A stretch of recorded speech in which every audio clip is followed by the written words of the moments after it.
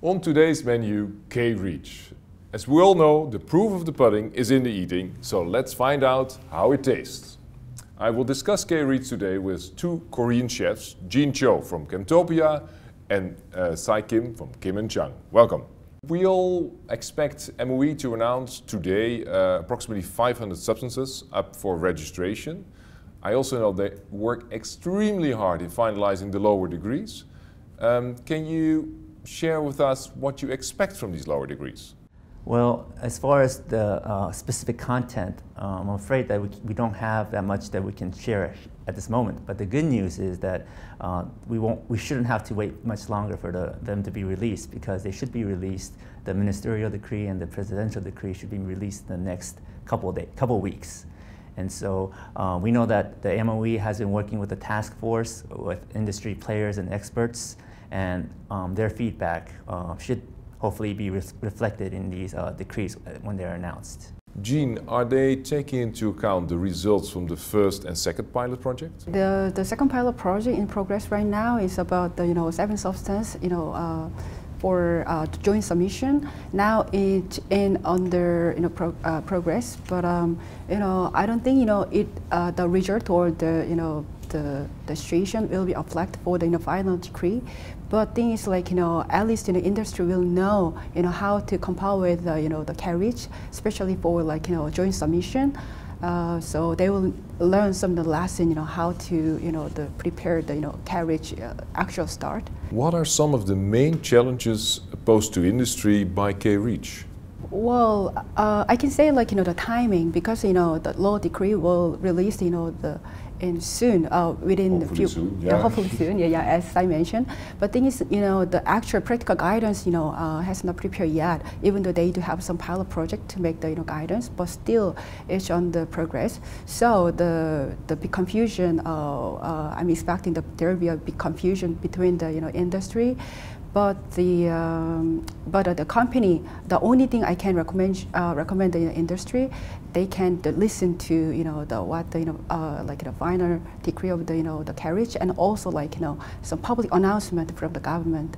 Cy, and how about legal challenges? As with European reach, uh, there are very, um, very real concerns dealing with uh, fair trade laws and also with uh, confidential business information and um, you know, uh, a lot of the issues will be the same, except now you have Korean law applying instead of European laws. I think that it's worthwhile for uh, all the regulatory specialists to uh, know uh, and to understand a little bit better so that they can uh, work with their in-house counsel when they uh, deal with these issues. Is resources also one of the challenges they face? I can say, you know, both of them, you know, the the first one is resources, as you mentioned, that um, they do not have the enough you know, resources. For example, as I mentioned earlier, the, the, you know, the practical guidance.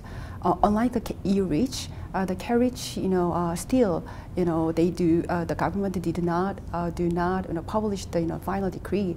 But, um, you know, but uh, in case of the e-reach, the, when the e-reach started, you know, the, the e-reach uh, comes with you know the uh, practical guidance, but the Korean reach is it's not the same like that. So that the you know actual industry they do not know you know how to compile the K-Reach, even though they they kind of know you know the how it goes uh, it goes to, but you know they don't know actual you know the action they have to behave.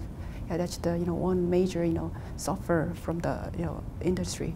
Will the IT system be up and running as of January 2015?